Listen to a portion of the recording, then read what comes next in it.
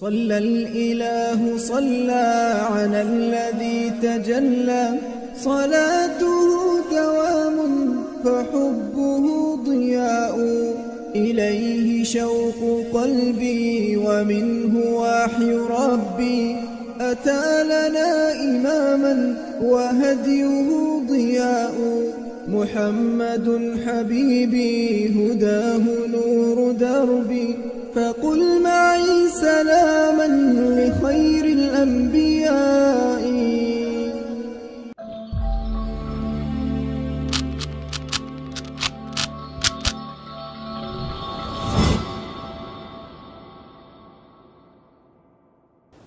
لأنه الذي جمعك موقف معين ونظرة معينة وما يصير أحيانا بعض الناس يقول لش بعد ما تعامل معش بعد ما تعامل معش. يقول الصراحة أنا أول ما شفتش قلت بطرانة. بطرانة. وقالتها لي واحدة من ال- ال- الأخوات مرة. قالت بصراحة أنت أول ما جيت تداومي معنا يوم جيت شفت عليش ذي البطرانة ذي واجد شايفة نفسها. أنا حتى وحدة استغربت يعني مو سويت عشان تقولي لي بطرانة. بعدين متى متى أنت تغيرت؟ كانت هي تبيع شيء. اشتريت من عندها استويت طيبة. فنحن نصدر الأحكام بناء على ما نأخذه من مصالح والأصل ليس ذلك. ولذلك اعفوا عن الناس العافين عن الناس اعفوا عن الناس حتى إيش؟ ما تكون هذه الأحكام عائق لأنه هي لما كانت مثلا تنظر لي إني بطرانة إيش يخليها هذا؟ تتجنبني. ما تتكلم. وأنت تبقي مستغربة. يعني الطرف الآخر ما فاهم أنا مو سويت. ولذلك أحيانا ما كل المواقف صحيحة في تحليلها. يعني أنت لما تطلقي حكم اطلقتيه بناء على تحليلش بس ما شرط يكون صحيح. لذلك اعفي نفسك من هذه الأحكام نفس العامل اللي يسوون الصور شوف الناس المهزين ولا أحيانا الاستشاره والمطلقه كيف تحسيها تقول هذه صور تقريبا وتلقي أحيانا هي ذيك مو بغيضة أحسن أحسن أحسن واحدة. أنت تقولش الا ما مريحه الا ما المظهر لا هو طبعا فيه هناك من يملك الحاسة السادسة لكن هذا الشيء ما هو العام.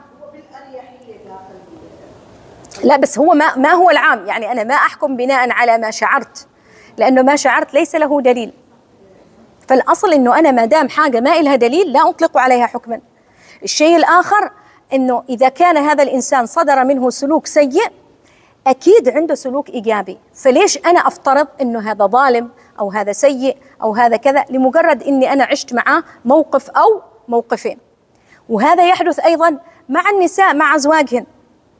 يعني مثلا مثلا واحدة توها فترة الملكة. إنزين؟ وخارجة هي وزوجها تشتري ويا عين هو خلاص على الحديدة. على الحديدة. تعرفون يعني على الحديدة؟ لأنه الأول والتالي دفعه. فطالعة. ما قدر يدفع. قال لها ممكن تدفعي؟ فإيش راحت؟ قالت هذا طماع ما أبغاه. صح ولا لا؟ هذا طماع. طب انتظري. انتظري الأول. يعني لا تحكمي على إنسان. ليش فلان ما تدفع؟ قال لها مثلا إنه آه بوكي نسياننا أو حاجة. طيب بوكك نسيته. الحين ما شافوكي. التلفون إنزين. لكن فرضا يعني المرة الثانية كرر الموقف؟ لا أريد أفهم. لكنه مرة واحدة ورحت آه تروح أقول لكم خلاني أدفع. هذا تو بعدنا على البره على البر ما أبغى. بنت الحلال يمكن ظرف عنده مشكلة عنده شيء سبحان الله. صار الإنسان يجي له أوقات يفلس. إيش المشكلة؟ يعني فتصير إنه إحنا نصدر أحكام مجرد إنه أنا شفت موقف معين فصدرت الحكم. فالحق الأصل منه أن أذهب. لذلك لذلك يفترض أنت قبل ما تروح الحق أول شيء متسوي ناس. ولأنه إحنا أكبر مشاكلنا أصلا الناس. أكبر مشاكلنا الناس. فالمفروض إنه أنا أتواصل. الحين مو صارت الناس. رسالة. صلى الله وبارك. على أساس إنه أديت اللي علي. لا. أول يروحوا بيت بيت. بيت بيت. عندما كان يفهمون ماذا يعني حق يعطونه قدره. الحين رسالة.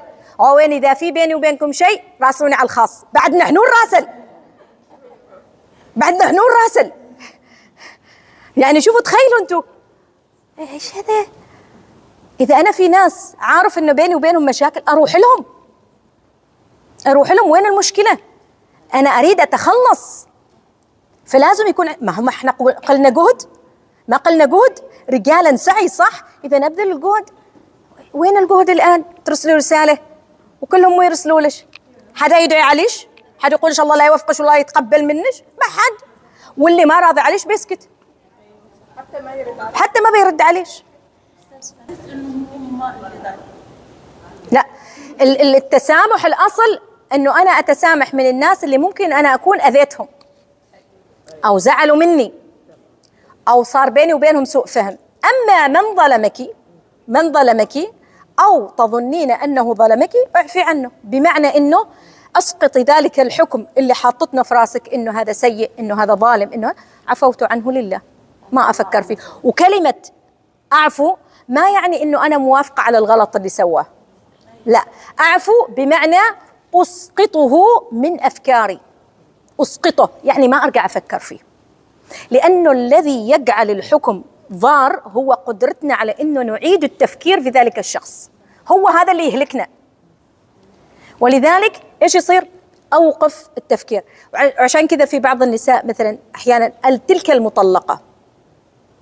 لما تجي تقولي لها خلاص. آه، الله تعالى وش يقول؟ ولا تنسوا الفضل بينكم في آية الطلاق. فأتذكر امرأة أقول لها خلاص سامحي. ولا تنسوا الفضل بينكم. قالت ما سامحه. والله كذا والله وبدأت تدعو. يا حرمة لا يعني انت بالتعبي انت بالتعبي. قالت ما سامحه. أنتم ما تعرفوا مو سوى أنتم ما تعرفوا كذا. قلت لها اسألي سؤال. هذا الإنسان في حياته شوفوا شوفوا الله تعالى المنهج المنهج إنه تنظر إلى الجانب الجميل ولا تنسوا ولا تنسوا أنت تعرضت لضرر صح؟ لكن مو يقول ليش؟ ولا تنسوا الفضل بينكم. يعني أكيد في شيء في شيء إيجابي. يعني على الأقل بينكم طفل بينكم حاجة حلوة. يعني تخيلوا لدرجة إنه في بعض الناس ما بس تكره الشخص حتى تكره أولادها معاه. ليش؟ لأنه أصبحت الصورة تطرف كامل في الحكم. ما شافت جانب آخر. وامرأة ذات مرة ويمكن حكيتها كانت آه، تسأل يعني إنه ماذا سيفعل الله بي لأنها لما اتطلقت من زوجها لا والمصيبة إنهم وين ماخذين نفسهم ماخذين بعضهم عن حب. بعد ما اعرف كم سنة اتطلقوا صارت مشاكل فتكره زوجها وتكره معاه ولده اللي جابته يعني. هذاك تزوج وهي تزوجت فكان ماذا يفعل هذا الولد؟ وهو عمره عشر سنين أتوقع كان يذهب بين الفترة والفترة يزورها. يزورها. هو سكن مع جدته. لا الأب بغاه ولا الأم. فكان يذهب إلى زيارتها كل نهاية أسبوع. ظل لحد ما كبر. فكان كل مرة يروح يزورها تدخل. من يستقبله؟ زوج أمه. يعني زوج أمه طلع أحن فكان يستغرب يقول لها ما يعني ما له ذنب. طب انت بينش وبين هذاك مشكلة. هذا ما له ذنب. فكانت حتى يعني آخر مرة يعني تقول له ما أبغى أشوفك. وهو يبر بها. إحسان معنا ما تسأل عنه لكنه كان مواظب إنه إيش؟ يبرها. إلى ما جاء في فترة وراح قال لها أنا بس جاي أخبرش إنه هذه آخر زيارة. يعني أنا أعرفش انت تتضايقي وكذا وأنا جاي أخبرش إنها آخر زيارة و يعني ووادعها. فهو متعود اسبوعيا. وكم مرة؟ ما مرة ومرتين تقول له ما تجي وهو يجي. مرة الأسبوع الأول مرة الأسبوع الثاني مرة الأسبوع الثالث مرة الأسبوع الرابع. بدأت تقلق. ليش هذا الولد ما جاء؟ مرت تقريبا ثلاثة أشهر. وشوفوا أنتم كيف. بعد ثلاثة أشهر ذهبت. خلاص يعني بتروح تسأل عنه عند جدته. راحت تسأل عنه قالوا لها الولد توفى. طبعا حتى ما قالوا لها لأنه وصى ما تروحوا لها. ما تخبروها. لأنها ما ترتاح. متخيلين؟ توفى. وجاية تسأل مو علي. طبعا هي لما عرفت إنه الولد توفى الولد كان عنده سرطان أصلا وكان مخبرينه إنه وضعك يعني كما يقولوا خلاص متقدم ويعني فراح يودع أمه. فهي طبعا هتجن. الآن تقول مو علي. فتلك الأحكام التي توصلنا إلى مرحلة بعدها ما ينفع شيء. ولذلك الحق هي فكرة الحق إنه أنا أسقط ما أنا أخطأت نفس الشيء. فأتخلص من كل شيء ضمرته هنا في عقلي لا ينفعني.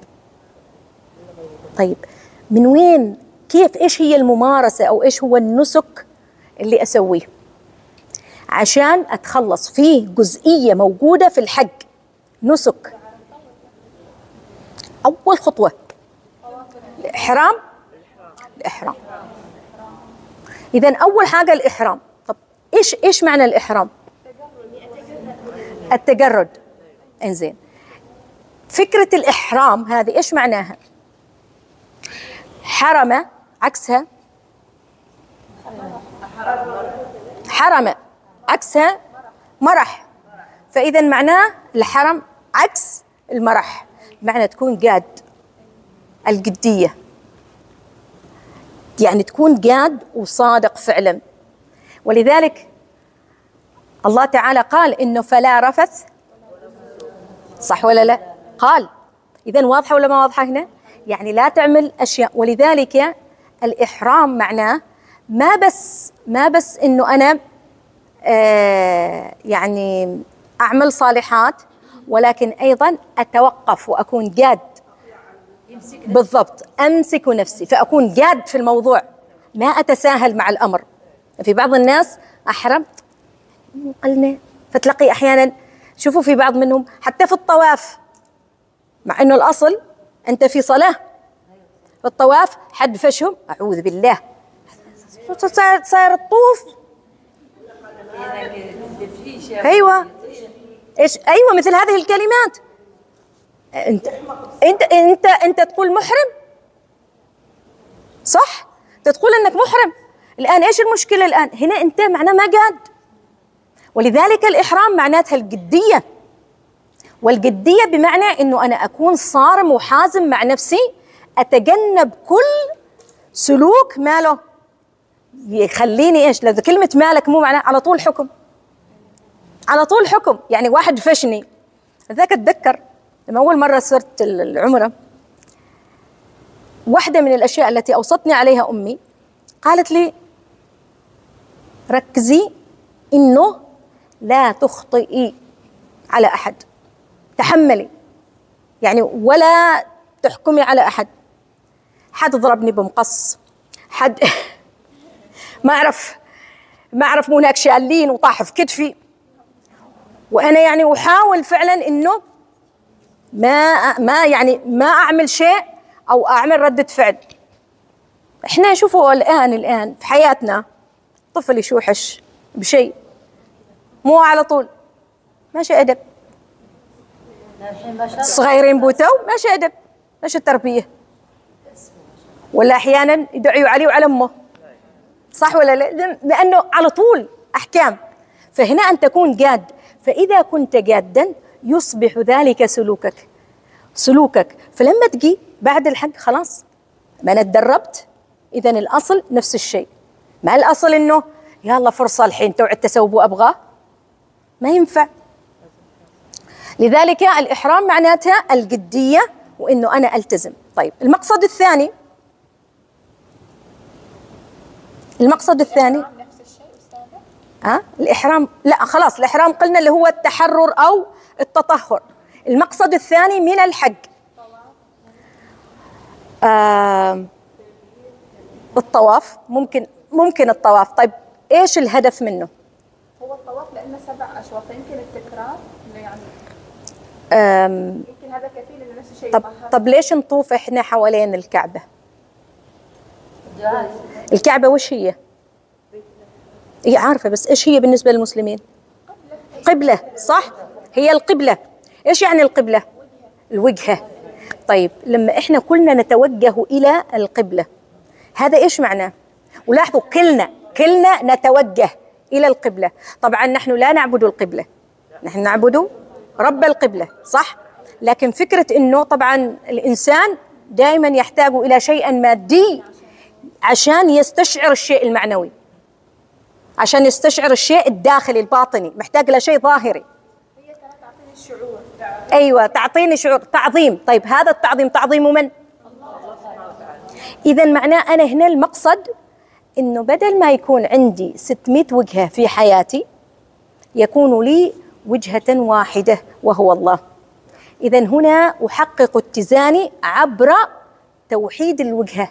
يعني ما يكون عندي 600 وجهة. إحنا في حياتنا في واقع الأمر شوية عشان خاطر أمي شوية عشان خاطر زوجي شوية عشان خاطر آه، وأولادي فنفسنا مالها ما منضبطة في العمل.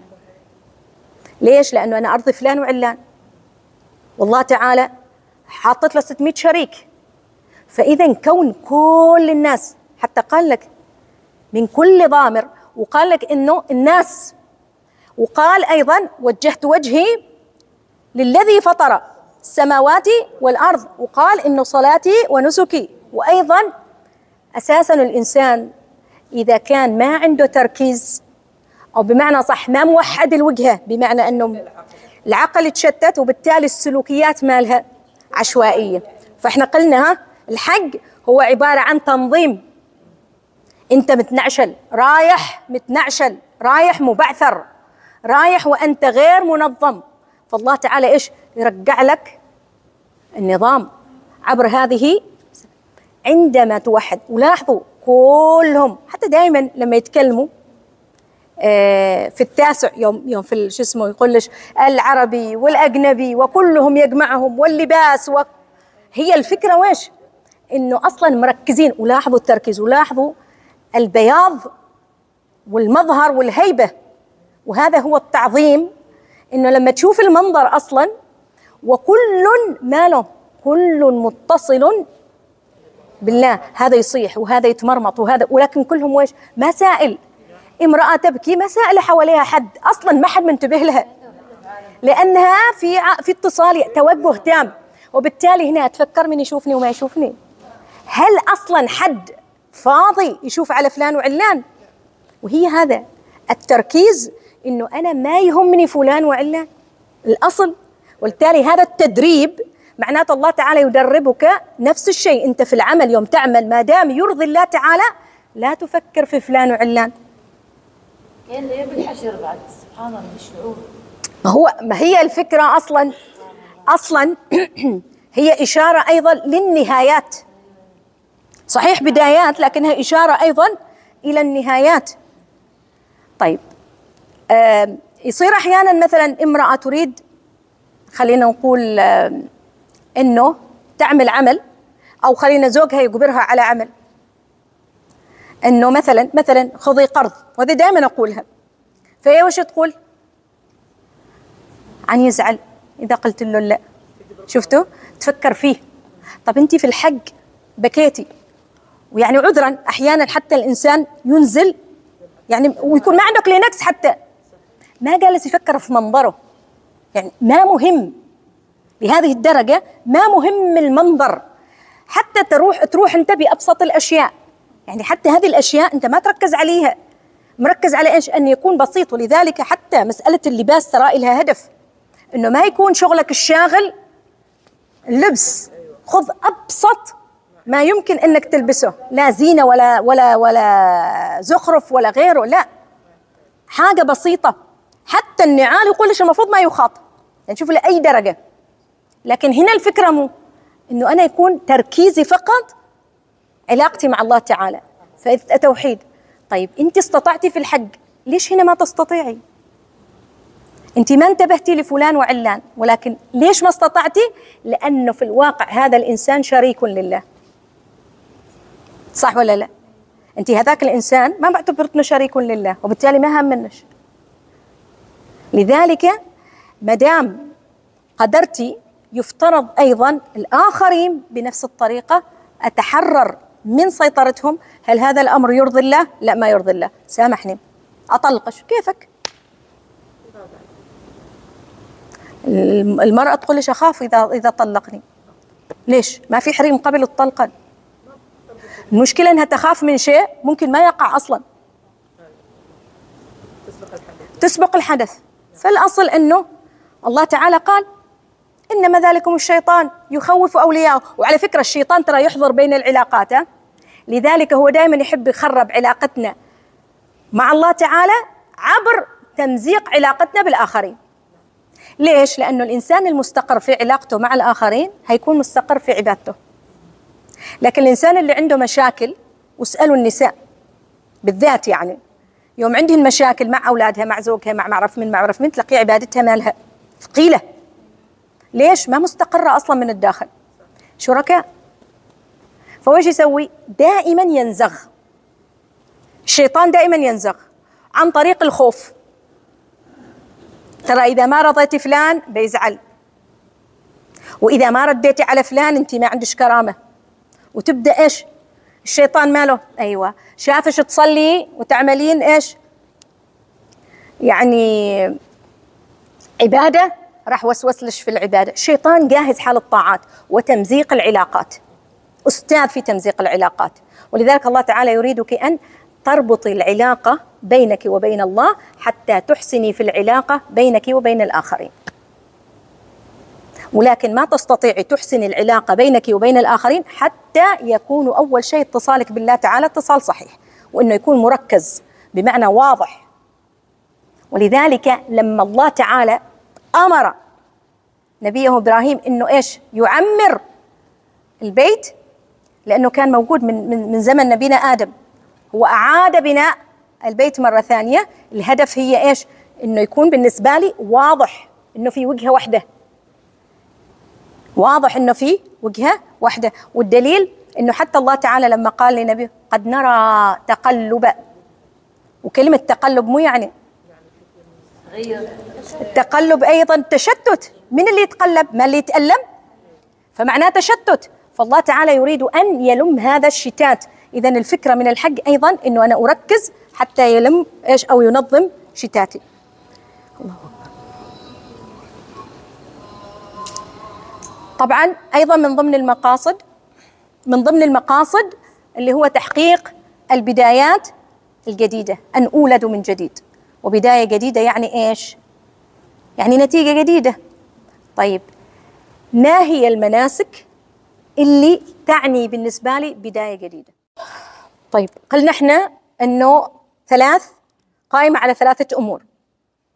الأمر الأول هو أن تسعى سعي نسميه إحنا السعي السماوي. إيش يعني السماوي؟ أي الاتصال بينك وبين الله. وهذا يتم من خلال وش؟ أول حاجة النية. أول ما تنوي أنت تنوي لمن؟ لا تعالى ولاحظوا أول الأعمال ماذا؟ أول الأعمال مش بعد الإحرام أول الأعمال طواف ولا ما الطواف؟ طيب هذا الطواف مو يعني طواف. ألم يقال أن الطواف صلاة؟ الطواف صلاة. مو يعني صلاة يعني اتصال. اذا أول عمل أقوم فيه هو الاتصال بالله تعالى. تمام؟ اذا هذا نسميه الاتصال السماوي. اذا قائم على الحركة اللي هي اتصال سماوي. طلبة. عندهم مذا... عندهم امتحانات. أو خلينا نقول عندهم بادي المدرسة. بدأت المدرسة.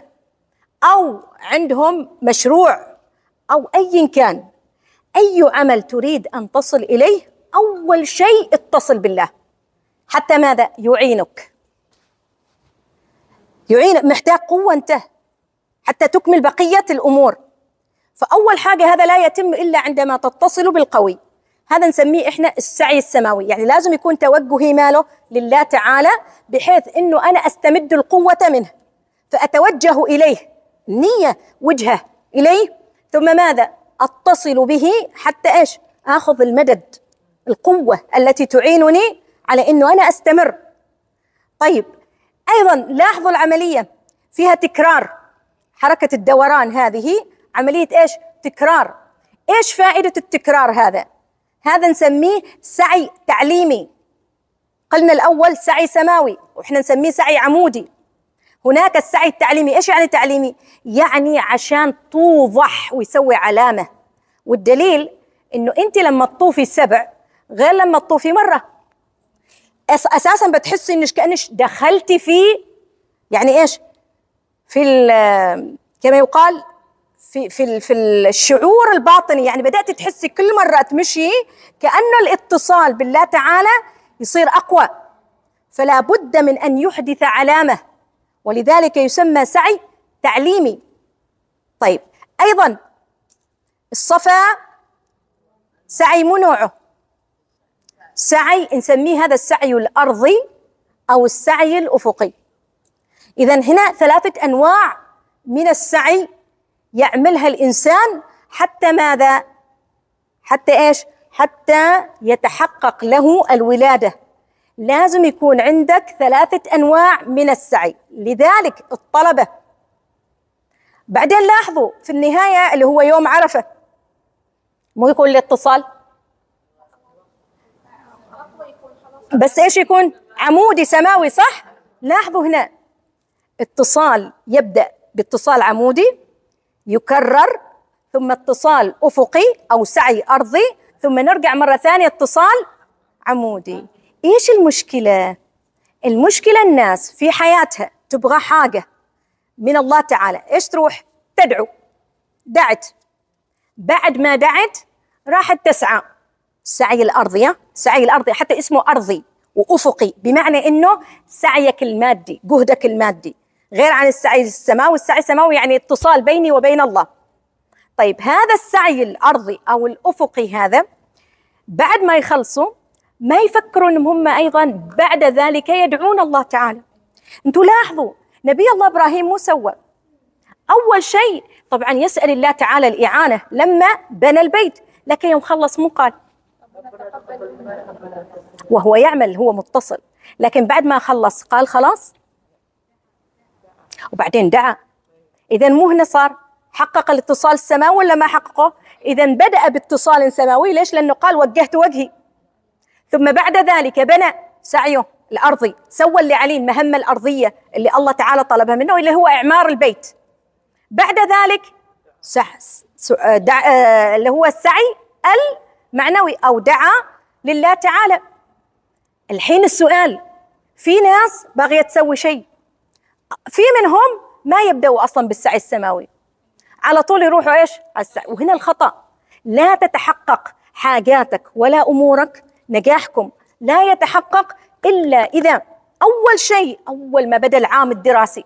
يبدأ العام الدراسي. يا رب أسألك اليسر. يا رب أسألك التوفيق. يا رب اجعلها سنة سهلة يسرة. نفس الشيء وانت حتى رايحة الحج. اللهم يسر اللهم يسر. انوي التيسير إنزين؟ خلصتي. ربنا تقبل خلصتي كل شيء ربنا تقبل نفس الحالة. ذاكرت؟ اسعي الآن السعي المذاكرة. بعد ما أخلص المذاكرة ربنا تقبل. ربنا علمنا ما ينفعنا وانفعنا بما علمتنا. ربنا وزدنا علما. يا أخي هذه اللغة لغة الاتصال. الله تعالى ستجدي إن أمور شمالها ماشية سهالات. لكننا ماذا المشكلة؟ قال لك أنا دعيت وسعيت وبس. وتوكلت على الله. وهو جالس يراقب. لكنه إيش فائده الدعاء قبل وبعد؟ تنظمك. شوفوا قبل وبعد. حاجتين. قبل وبعد. لماذا؟ لأنه الأول ولأنه الآخر. لأنه الأول ولأنه الآخر. فما بطن في في داخلك وهو الباطن يظهره لك لاسمه الظاهر. فأنت لازم تشتغل بهذه الطريقة. ما ينفع تبدأ فيه وتنتهي لنفسك. يعني يدعو الله تعالى ويسعى وبس وقف. لا. أبدأ بالله وأنتهي لله. إنا لله وإنا إليه راجعون. هذه النقطة اللي يفترض إنه نعرف إنه أي بداية جديدة تريدوها أول شيء ابدأوا الله تعالى اسألوا الله تعالى إنه يعينكم. بعد اسعى شوفوا إيش الأشياء اللي تقدر تسويها. خلصت؟ اسأل الله تعالى تمام الأمر. إحنا الصلاة وهي الصلاة.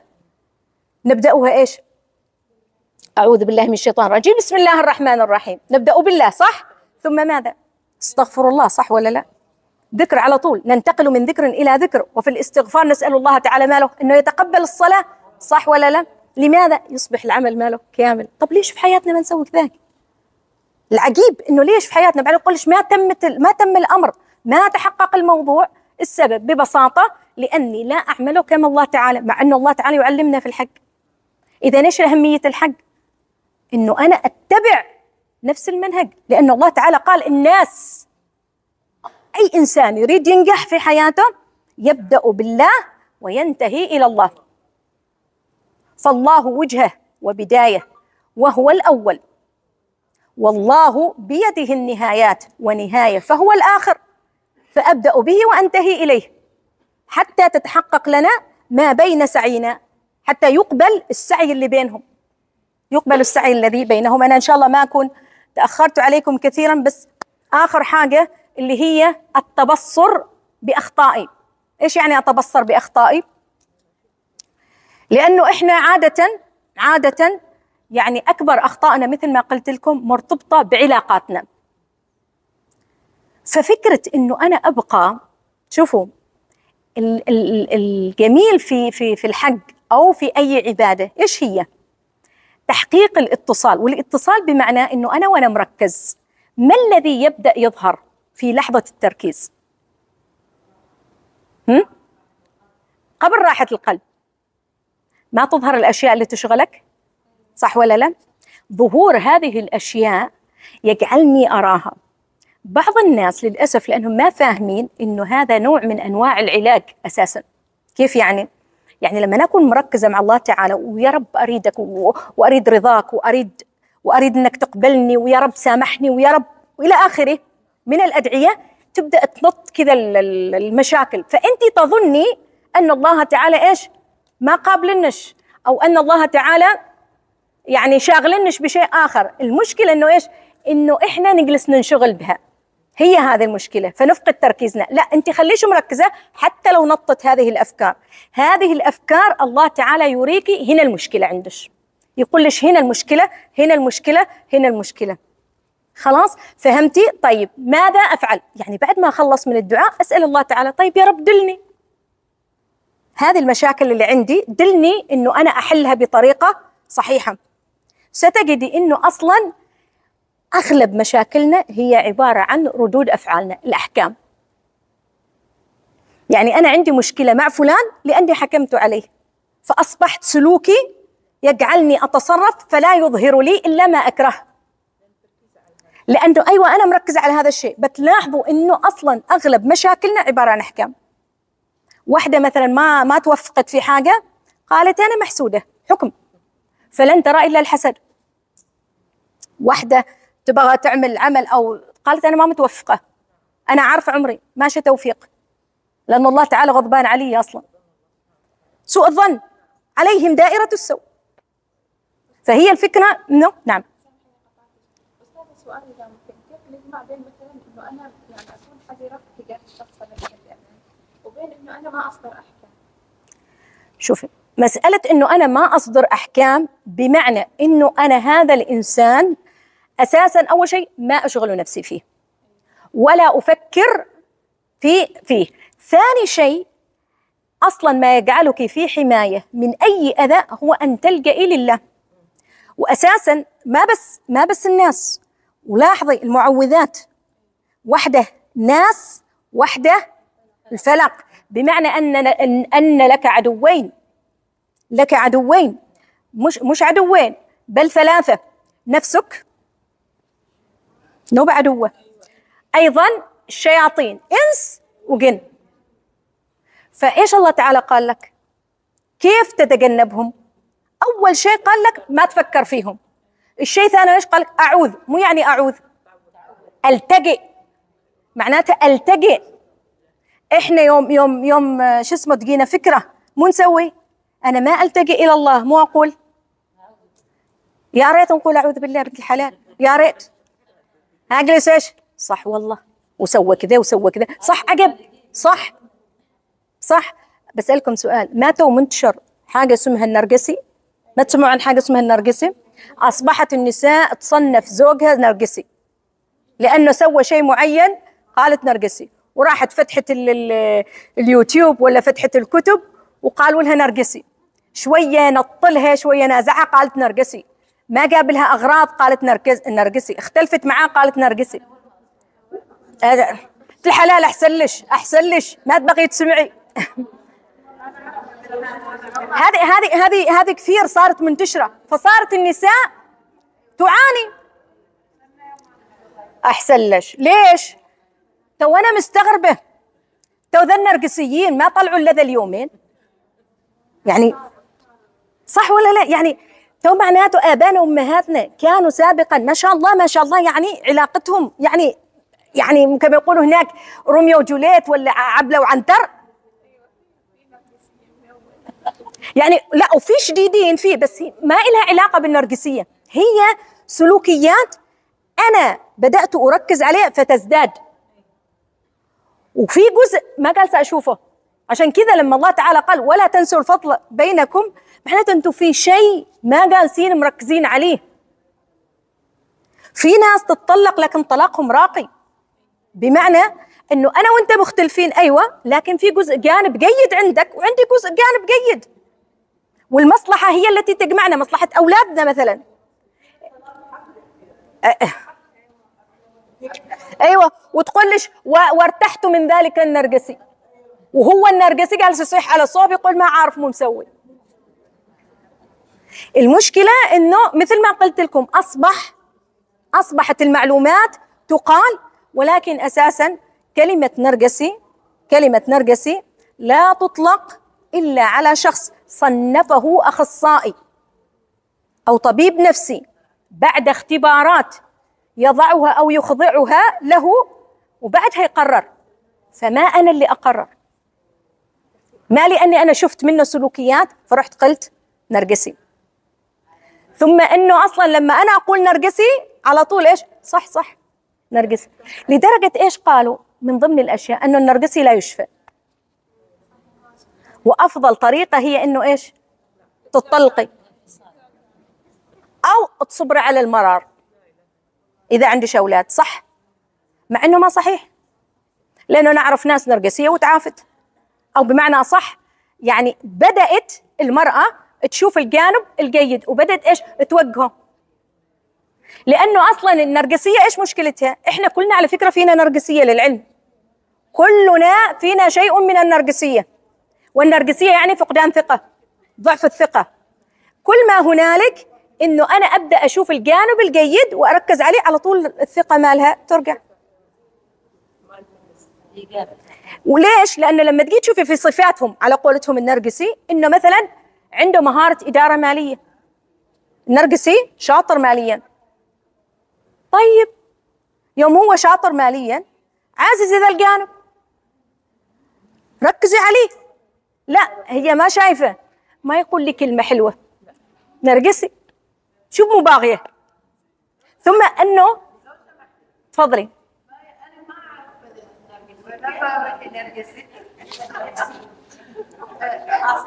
أنا ورطت نفسي.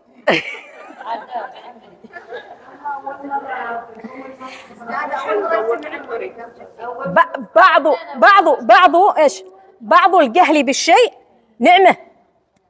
يعني إنه أنا أجهل أمر ما في بعض الأحيان نعمة. ليش؟ لأنه أحيانا معرفتي بالشيء تجعل لي ضغط علي ها؟ تبدأ الوساوس تدخل خاصة إذا ما أعرف أديرها. نرجس يا وين الرجال اللي داخل خارج بس يصفع يتنازع وعصبي وما عاقب منه شيء. ويوم يوم يبغى يستوي طيب يستوي طيب يوم يبغى يستوي شرير يستوي شرير. هي.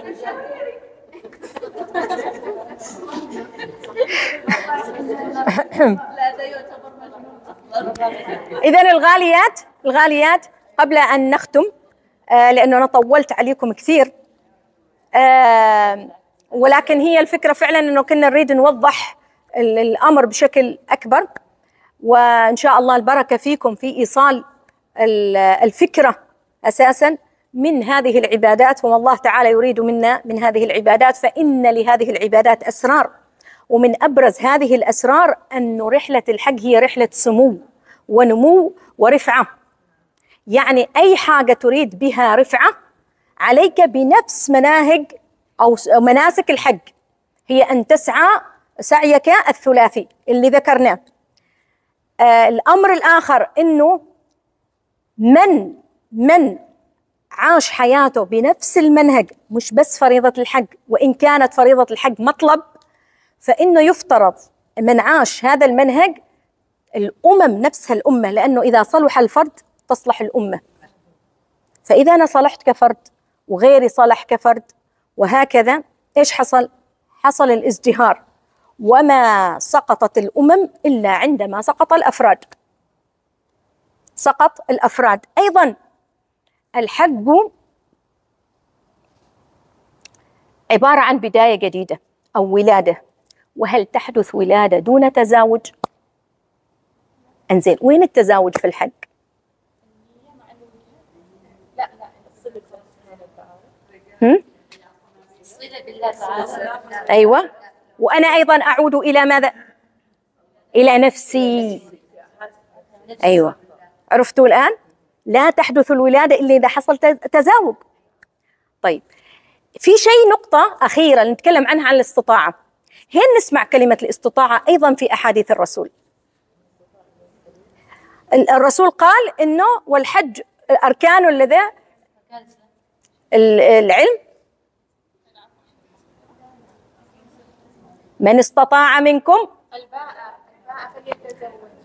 هنا جاب كلمة استطاعة صح؟ وهنا جاب كلمة استطاعة. عرفتوا الآن أنه لا ولادة إلا بزواج؟ كذلك من استطاع منكم الباء؟ بعدين قال إذا ما استطاع مو يسوي؟ صوم صح؟ ألسنا بعد الصيام. تحدث لنا ولادة جديدة أيضا؟ رمضان عشان كذا عندنا عيدين. عرفتوا الآن؟ يعني نحن بعد كل بعد كل عمل نعمل ولاحظوا على فكرة رمضان وش؟ في سعي الثلاثي ولا ما فيه اتصال بالله وأعمالنا نسويها ونهاية اليوم ماله آه، اللي هو التراويح. نبدأ بالله وننتهي لله. صح ولا لا؟ حركة الثلاثية موجودة ولا ما موجودة؟ ثم بعد ذلك ماذا لتكبروا الله على ما هداكم. في الحق ولذلك من استطاع منكم الباء فليتزوج. عشان تحدث ولادة. واللي ما يستطيع فليصم فإن الصيام إيش؟ جنة. فإذا العملين. فكروا فيها. وأيضا إيش علاقة الولادة باليوم التاسع؟ ها؟ الجنين نفسه يحتاج ولا تسعة أشهر. وفي صيام صح ولا لا؟ إذا هنا لاحظوا. طيب عملية عملية تز... ليش التزاوج بالذات؟ شوفوا مسألة تزاوج الناس على بالها إنه العبادة يعني هو في سنة عند الله تعالى وهي إنه لا تحدث ولادات إلا إذا حدث تزاوج. طيب الله تعالى يريد أن يكون المولود نقيا. فلازم أول شيء يمر بعملية إيش؟ تنظيف. وهذا التنظيف لا يتم إلا عبر الاستعداد. يعني أنا لازم أكون مستعدة. ولذلك لما قال النبي استطاعة من استطاع؟ إذا لازم أتهيأ. إحنا كيف تحدث الزواج الآن؟ كيف يحدث؟ خذوه فغلوا لا استعداد ولا تهيئة ولا فهم.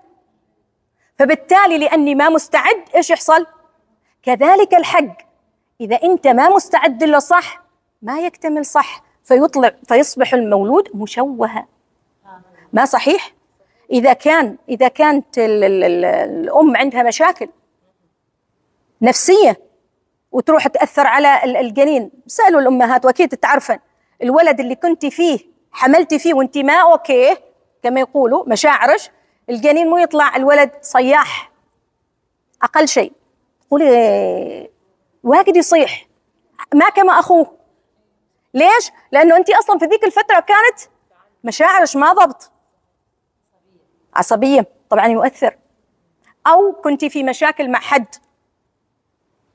فإيش؟ فتسقط على ذلك الابن. لذلك أي وحدة حامل رفقا رفقا بمشاعرش عشان ال- الجنين يطلع باكمل صورة واجمل صورة. لذلك عملية الزواج لابد لها من استعداد. طيب ما نوع الاستعداد؟ يعني ما شروط الزواج؟ خمسة. إيش شروط الزواج؟ الإسلام. رقم واحد ال ال ال الإسلام. يعني أنا يعني بمعنى إنه لازم يتزوج إيش؟ أنت هل ينفع تتزوجي غير مسلم؟ إسلام. طيب إيش معنى الإسلام؟ يعني عملية تسليم بالنسبة للحق لأنه أنا وجهت وجهي أسلم أمري لله. طيب رقم اثنين. عاقل صح؟ عاقل تسوي المجنون عاقل. إيش يعني عاقل؟ يعني مدرك مدرك إيش؟ مدرك إيه؟ مد- مدرك. لأفعاله صح؟ كذلك المفروض وأنت رايح الحق مدرك لنواياك وأفكارك. طيب البلوغ. إيش يعني البلوغ؟ الله تعالى وصف إبراهيم بأنه ماله. حليم صح؟ ماذا يعني حليم؟ بلوغ. إيش يعني بلوغ؟ وبعدين بدأ إيش؟ يبني اللي ذا يعني اشترط عليه الحليم أيوه. أيوه الجاهزية. جاهز لعملية إيش؟ إنه يبني في ناس تزوجهم أطفال ما جاهز. وفي ناس تروح الحق قررت قبل بشهر وتروح عند الحملات والشيمة تجملوا فيي والشيمة دخلوني وهين كنت انتي؟ صاني ما كان مكملات الفلوس توك تملن وتصير يا ريتها بعده قبل بشهر. قبل باسبوع عند زبدة الحلال في تسجيل في أشياء في وزارة لو ما بكيفنا. تجملوا شوفوا لي شيء. وهي ما مستعدة. فلازم الإنسان يعني أنا مثلا ناوية آه، السنة هذه أروح الحج اذا أنا قبلها مفروض استعداد. البلوغ. البلوغ. بعد. غير البلوغ. اللي هو إيش نسميه هذه؟ الحرية. يعني رايح وأنا ما ما مجبر. رايح بإرادتي فعلا أريد. ما لأنه فريضة. لا. أنا رايح وأمتلك الحرية التامة. لأنه في حرية اختيار هنا. ما إجبار. بعد آخر شيء الاستطاعة المادية. الاستطاعة المادية نفس الشيء ما ينفع واحد يتزوج وما عنده استطاعة مالية. إلا طبعا في ناس الله تعالى ييسر لهم مثل ما في ناس تتزوج ويقولوا لهم المهر دفع ريال. نفس الشيء تيسير من الله تعالى. لكن الأصل إنه أنا أهيئ نفسي ماليا. شفتوا عملية ال- هي عملية زواج ولكنه ولذلك الله تعالى سننه نفس المبدأ في أي عمل نفس المبدأ. طبعا هذه أيضا دعوة لكم لأنه إن شاء الله إحنا تاريخ 24 آم، هذا الشهر رايحين عمرة. وسنكون سعداء أنكم تكونوا معنا في حملة آه، قباء الذهبية إن شاء الله. وبيكون في عندنا نفس الشيء كذا جلسات حلوة لكن داخل الحرم. وأيضا بيكون بإذن الله تعالى في السكن. فإذا حابين أنا كنت أتمنى إنه يعني ذا بس أكيد يعني ال- الأخوات ما يقصرن. إذا حابين تسجلوا وتكونوا معنا 24 10 آه لمن يحب أن يكون معنا إن شاء الله. وهي قصيرة وحلوة وصغيرة يعني ما فيها تطويل. وإن شاء الله راح يكون في عندنا جلسات تدبر بالإضافة إلى إنه في دورة كذا مصغرة جميلة آه عن العمرة وعلاقتها بالمرأة. ليش بالذات العمرة؟ ليش ما أي عمل آخر؟ إيش علاقته بالمرأة؟ وإيش ماذا يفعل بالمرأة؟ وماذا تفعل مناسك العمرة بالمرأة؟ إيش التغيير اللي تحدثه؟ وأيهما أنسب لها؟ هذا شيء آه الشيء الآخر طبعا إذا كنتم نويتم إنكم أنتم تروحوا الحج فالبدار البدار بمعنى إنه لا تؤجلوا الأمر ولا تتعللوا في المبررات ولا تخيفكم المبررات لأن المبررات ما هي إلا أحاديث شيطان يلقيها على مسامعكم حتى إيش؟ يبعدكم. لأنه يعرف أنه في أي عمل خير تعملوا هو اتصال بينكم وبين الله وهو يريد أن يقطع هذا الاتصال. فينزغ بيننا وبين الله وينزغ بيننا وبين الآخرين. ولا تستصعب أنك تتسامح مع من ظلمته. أو من أذيته. ما ما تستثقلوها العملية صدقوني. تظن أنها صعبة. إيش يعني الواحد كذا شوية كما يقولوا الإيجو تبعه غرورة شوية يقول عني عن عني يقول لي كلمة تقبليها. معلش أنا غلطت فيه. خليه يقول ما يسامحني. أنا اللي علي سويته. بس المهم إنه إيش؟ أبادر. أبذل جهد وأبادر. وقلنا هو جهد. واعرفي أنك إذا بذلت هذا الجهد فإن الله تعالى يحقق لك نتيجة. وال- والجهد الذي أريد أن أقوله أيضا أن تكون مركز إنه رضا الله تعالى هو الذي يحركك. فإذا حركك رضا الله تعالى لأنه رضا الله تعالى تتحقق معه النتائج اللي أنت ما تتخيليها. النتائج اللي أنت ما تتخيليها من صلاح حياتك بكل تفاصيلها. في الدنيا والآخرة. في الدنيا والآخرة. واعرفوا أن جزاء الله تعالى ما بس في الآخرة. يعني كلمة الآخرة ما يقصد بها يوم القيامة لا أيضا نهايات يعني بمعنى إنه الله تعالى يوفقك في البدايات تبذلي جهد في البدايات يوفقك الله إلى النهايات اللي إيش؟ تليق بك وأحسن. لأن الله تعالى عطاؤه ليس كأي عطاء عطاء كريم.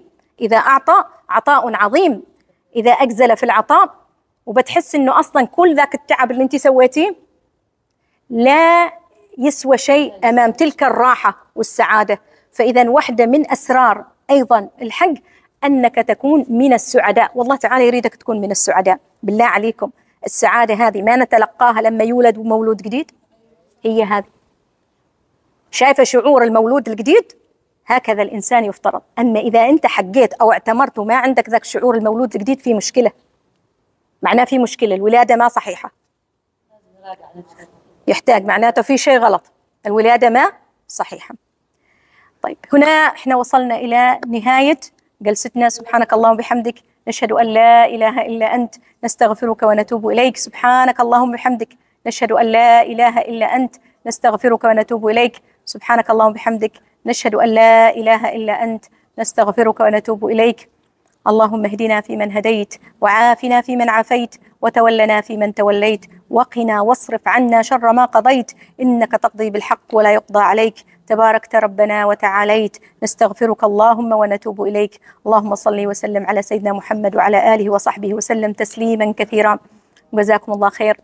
ومرة ثانية اعتذر أنا أعرف خضيت ساعتين تقريبا. لكن في تفاصيل. الله يعطيكم الصحة والعافية يا رب. وأسأل الله تعالى لكم السعادة في الدارين في الدنيا والآخرة يا رب العالمين. الله يعطيكم الصحة والعافية. بارك الله فيكم.